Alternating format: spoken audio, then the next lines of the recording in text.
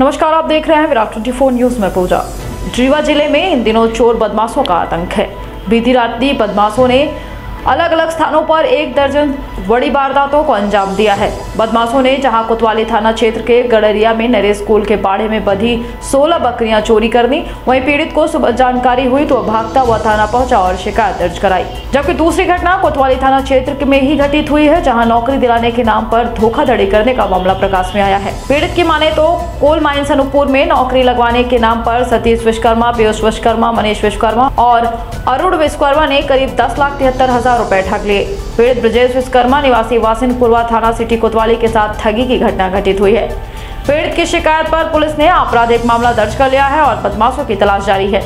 वहीं जब तीसरी घटना है, विश्वविद्यालय थाना क्षेत्र की, जहाँ फ़ोन देखने के बहाने दो युवकों ने फ़ोन लिया और कीमती मोबाइल को लेकर रफू चक्कर हो गए।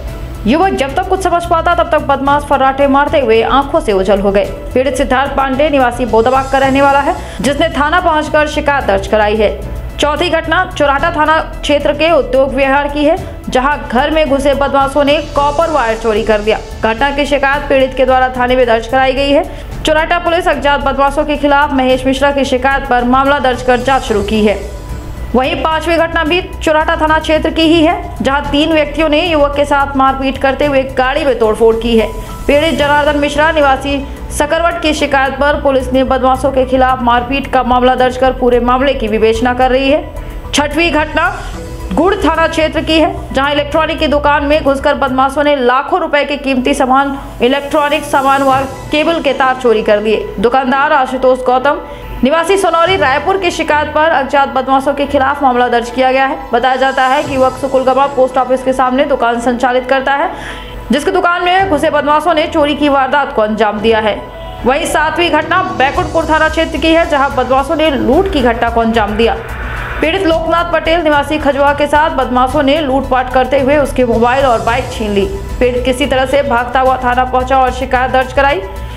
पुलिस अज्ञात बदमाशों के खिलाफ मामला दर्ज कर जाँच कर रही है, जबकि बैकुंठपुर थाना क्षेत्र में लगातार लूट और चोरी की घटनाएँ घटित हो रही हैं। एक तरफ़ जहाँ बदमाशों ने बाइक और मोबाइल छीन लिया, वहीं आठवीं घटना खमरिया में रमाशंकर मिश्रा के साथ भी लूट की घटना घटित हुई। दो अज्ञात बदमाश मोबाइल और पर्स छीन कर भाग निकले। पीड़ित ने शोर शराबा किया, लेकिन जब तक आसपास के लोग पहुँचे तब तक वह आँखों से ओझल हो चुके थे।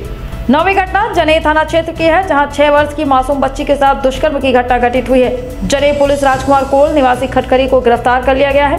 पीड़िता की माँ की शिकायत पर पुलिस ने दुष्कर्म व पॉक्सो एक्ट की धाराओं के तहत मामले को पंजीबद्ध किया है। बताया जाता है कि आरोपी ने मासूम को अकेला पाकर वारदात को अंजाम दिया।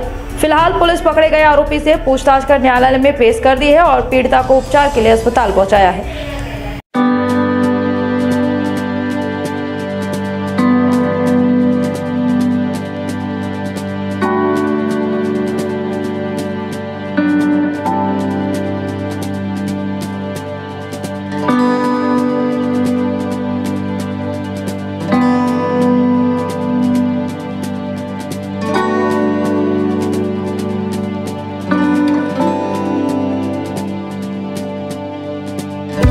तमाम बड़ी खबरों के लिए देखते रहिए विराट 24 न्यूज़। नमस्कार। खुल गया खुल गया खुल गया। आपके शहर में सर्व सुविधा युक्त स्काई रेस्टोरेंट खुल गया।